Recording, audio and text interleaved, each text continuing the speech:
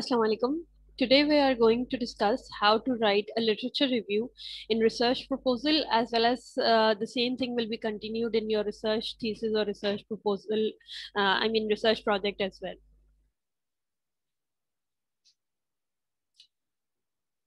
Mm, the objective of this lecture is that by the end of this lecture, you will be able to write section two of the research proposal, that is literature review. And previously, I have discussed how to write section A of the research proposal. And uh, today in literature review, I'm going to discuss the purpose of literature review, elements of literature review, writing the intro to literature review, writing body of the literature review, and the conclusion. It means you can see that there are three parts of literature review, introduction, body, and conclusion. Okay, so it's just like an essay sort of where you have to make a proper introduction and a proper conclusion with middle part as a discussion one. Okay, so first of all, the purpose of the literature review to provide the background information about his research topic. Now, basically, you are uh, no doubt providing background in the introduction as well, but here you have to provide the background in relation to the researches that are already conducted on this particular area. ठीक है? आप जैसे introduction का जो background होता है, उसमें तो आप सिर्फ़ जो है वो जैसे डेफिनेशन डिस्कस कर ली, आपने हिस्ट्री डिस्कस कर ली, इस तरह की चीज़ें होती है। जबकि लिटरेचर रिव्यू में आप ये बैकग्राउंड बनाते हैं कि इस टॉपिक पे कौन कौन सी रिसर्चेस किस किस तरह से कहाँ कहाँ हुई हुई होती है, ठीक है? So this background is actually related with the research already done on that particular area Second is to establish the importance of a topic so no doubt you have again uh, i will say the same thing you have already mentioned it in the introduction how to uh, what is the importance what is the justification of your topic but here again you have to mention in uh, relation to the previously published researches है so आपकी research किस तरह से important है आपका topic किस तरह से important है बाकी सारे researches के हवाले से ये आपको यहाँ पे mention करना होता है पूरे दूसरी रिसर्चेस को डिस्कस करते हुए number three to demonstrate familiarity with the topic or the problem okay so obviously you can do this you you basically you have to show the that you have studied a lot you have gone through a lot of researches related to your topic okay so you have to demonstrate your familiarity means you know you are familiar with this particular topic and the problem that you are considering in this uh, research okay Number four, to set the stage for further work and allow you to join a scholarly con conversation. Now, basically, as I've told you that there are three uh, subsections, you can say introduction, body and the conclusion. Heading तो कोई नहीं होती लेकिन ये और एक तरह से ऑब्वियस होता है जैसे एसेज में कोई हेडिंग डाल के आप नहीं लिखते इंट्रोडक्शन कंक्लूजन इसी तरह से इसमें भी नहीं होता लेकिन कहीं ना कहीं वो चीज़ मौजूद होती है ठीक है तो जो आपका uh, कंक्लूजन है, उसमें आपको बेसिकली इस तरह से शो करना होता है you have to set the stage that further work is possible in this particular area okay so you have to show in such a way कि क्या क्या काम हो चुके हैं, आप क्या करना चाह रहे हैं, किस तरह से करना चाह रहे हैं, सब चीज़ें, और फिर आखिर में मजीद इस पर क्या काम हो सकता है, किस एंगल से हो सकता है, ठीक है?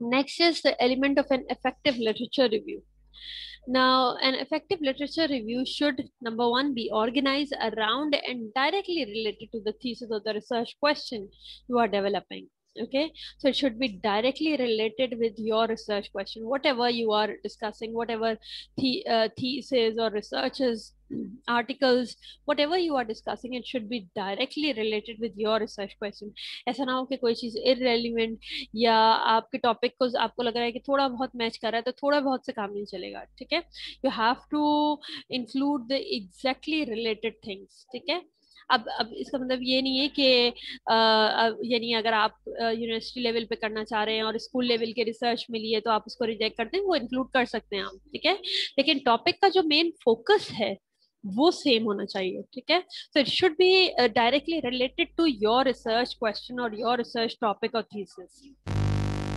Next is synthesize result into a summary, what is and is not known. Okay.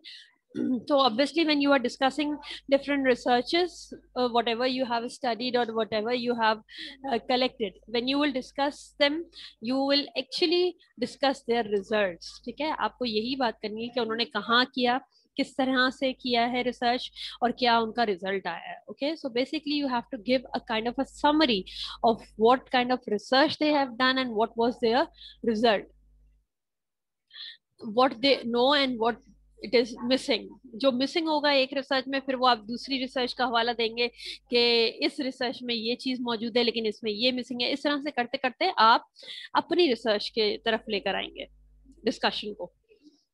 Number three identify areas of controversy in the literature if there is any controversy related with that particular topic then you have to identify and mention that over here as well formulate question that need further research Okay, so you can even suggest different questions or different areas that are possible for further researches in this. Uh, I mean, that uh, related with your topic. Now, as I've told you that there are, uh, you can say, the whole literature review is divided in three parts. So how to write the introduction of the literature review? So first of all, you should define define what you have already defined the key terms in your introduction ठीक है? Key terms की definition में आपने सारी key terms define कर दी हैं। लेकिन यहाँ पे आप जो डेफिनेशन देंगे वो ओवरऑल अपने टाइटल की और uh, किसी रिसर्च पेपर में से लेके उसको एक्सप्लेन करने की कोशिश करेंगे। बिकॉज़ ये इंट्रोडक्शन है ना आपके लिटरेचर रिव्यू का। तो आप इसमें जो आपके मेन टॉपिक है उसको एक्सप्लेन करने की कोशिश करेंगे। Okay so the general topic issue और area of concern means overall your topic ठीक है? वहाँ तो हमने सिर्फ़ की टर्म्स और मेन इंपॉर्टेंट टर्म्स डिफाइन की थी। यहाँ आप ओवरऑल अपना टाइटल को डिफाइन करेंगे सबसे पहले। उसके बाद identify sorry identify threats in what has been uh, published about the topic so whatever already published on that particular topic number two conflict in theory methodology evidence and conclusion so if there are any conflicts in the theories or the methodology or any evidence or even the conclusion कि किसी का conclusion कुछ आ रहा है research का और दूसरे को, को uh, area के difference की वजह से कुछ और conclusion आ रहा है तो वो सारी चीज़ें आपको इस इधर mention करनी होगी introduction में gaps in the research and the scholarships, a single problem or new perspectives of immediate interest. Okay, so whatever problem is there, whatever gaps are already there, you have to point that out. अच्छा gaps आप जो है वहाँ statement of the problem में भी discuss करेंगे लेकिन यहाँ पे फिर मैं वही कहूँगी कि यहाँ पे आप researches को relate करके point out करेंगे चीजें ठीक है then you have to establish the writer's reason for reviewing the literature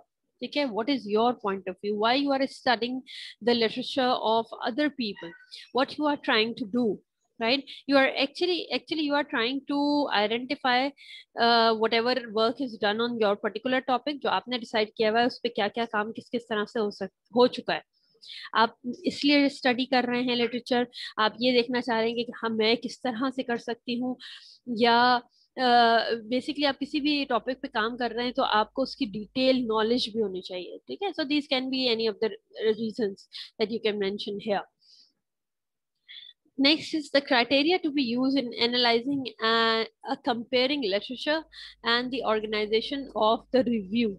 Okay, so whatever criteria you have used for comparing your, the literature and its organization, वो कहीं ना कहीं within दैट डिस्कशन ही होता है। अलग से आपको कहीं डिफाइन नहीं करनी होती, ठीक है?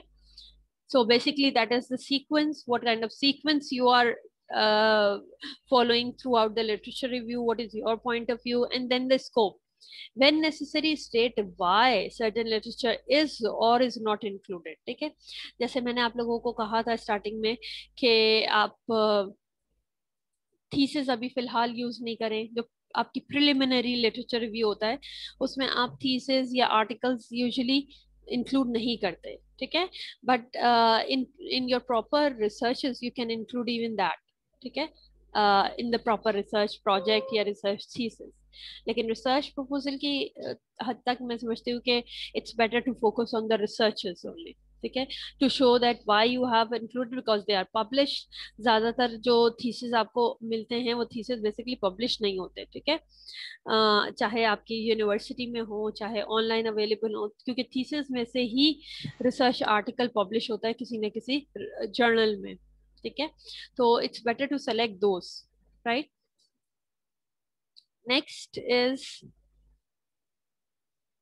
the body writing the body of the literature review. Group research and other literature review, theoretical articles, case studies, etc., according to common dominators. Okay, so uh, you have to in the body you have to discuss overall whatever researches you have uh, collected and selected. Then topical themes, all the important themes or the theories that are related with your topic, you have to discuss that over here then qualitative versus quantitative if you are uh, like for example if your work is quantitative and uh, there are some works that are uh, done through qualitative paradigm on the same topic that you have selected so you have to justify it ठीक है क्या अगर qualitative हुआ हुआ है और आप quantitative कर रहे हैं तो क्यों कर रहे हैं कि उन्होंने क्यों क्या चीज़ किया? यहाँ पे ये तो नहीं है आप प्रूफ करेंगे कि आप क्वांटिटेटिव क्यों कर रहे हैं लेकिन आप ये ज़रूर शो करेंगे यहाँ पे कि क्वालिटेटिव कर रहा करा है उन्होंने तो क्यों किया है? ठीक है? योर ओपिनियन ऑल्सो बेटर से have to include your uh, views your opinions as well. But the main focus will be the researches that you have studied and collected. Then the conclusion of the authors, the details related with them, and specific purpose or objective, chronology, etc. means proper reference should also be given. Summarize individual studies or articles. Remember that space length donates significance, okay? So, the length here is very important. You have to summarize the individual studies, ठीक है? ये ना हो कि आप पूरा एक page जो है वो एक रिसर्च के लिए लिख रहे हैं, ठीक है? यानी जो आपने रिसर्च कलेक्ट की हैं, वो एक रिसर्च को एक्सप्लेन करने के लिए, उसका रिव्यू देखने, देने के लिए आपने पूरा एक पेज लिख दिया। This is not the way okay? You have to summarize that study in such a way that it will have some coherence and cohesion with the other researchers. And it should be only around a paragraph that's all ठीक है? बहुत ज़्यादा length की ज़रूरत होती नहीं है। उसकी जो बेसिक इंपॉर्टेंट चीज़ें हैं, वो आप फोकस करके यहाँ मेंशन करते हैं। And then you try to relate it और try to create some coherence और cohesion with the other researchers that you have collected ठीक है? तो इस तरह से एक मतलब पढ़ने वाले को ये लगा कि पूरा एक कंटिन्यूटी में है। चीज़ें। ये नहीं है कि एक चीज़ अलग, एक पैराग्राफ अलग है और दूसरा पैराग्राफ टोटली डिफरेंट है, तीसरा बिल्कुल उससे भी ज़्यादा डिफरेंट है। ऐसा ना लगे। वो सारी रिसर्च तो आपस में किस तरह से रिलेटेड है? सबसे पहली बात तो ये कि आपके टॉपिक है, आपके टॉपिक से रिलेटेड है। ठीक है? Even then you have to see the link between these researches how you can link these researches use strong umbrella sentences to beginning of paragraphs. Signposts throughout and brief so what summary sentence at Im immediate points okay? So try to begin every paragraph by showing again the connection okay? The umbrella sentence means the sentence which can uh, uh, cover that particular paragraph and the previous one ठीक है? किस तरह से उसका relation बना रहा है और इस पैराग्राफ में क्या चीज़ डिफरेंट है? Your first sentence of every paragraph should be very catchy ठीक है? And then you can give the summary of that particular research writing the conclusion, summarize major contribution of significant studies and articles maintain focus established in introduction now because this is the time for writing a concluding paragraph ठीक है conclusion की heading नहीं आएगी लेकिन वो एक एक last paragraph होगा literature review का जिसमें जिसको actually concluding paragraph कहते हैं ठीक है तो major contributions major जो findings जो आपने आ, उन researches में से देखी हैं वो आप यहाँ मेंशन कर सकते हैं।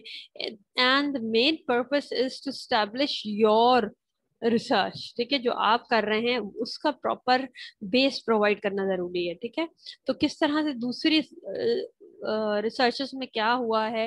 And how and what you are going to focus on you have to establish the introduction of your research in this conclusion ठीक है?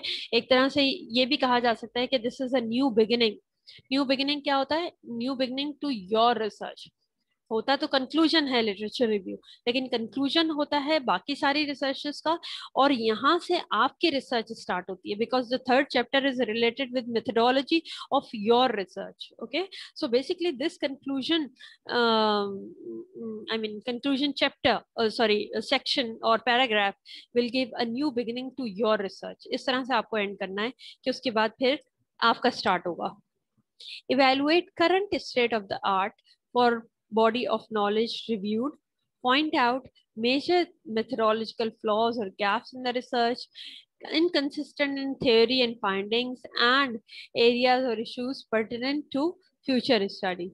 Okay, so here you have to uh, actually end the discussion of the previous researches and you have to point out the major flaws or the gaps in those researches and then why your research is important what you are focusing on ठीक है कि बाकी सब में क्या problem है किस तरह से फ्लॉज हैं क्या नेगेटिविटीज हैं और अब आप क्या करना चाह रहे हैं क्या फाइंड आउट करना चाह रहे हैं ठीक है this is what you have to mention here in the uh, concluding paragraph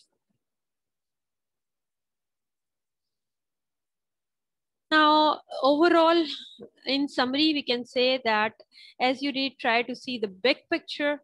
Your literature review should provide an overview of the state of this research. Okay, this uh, this slide is actually an overall look of the literature review. ठीक है कि literature review में actually होता क्या है ये summarize uh, जो कुछ मैंने अभी पढ़ाया है उस वही point, points हैं in a different way.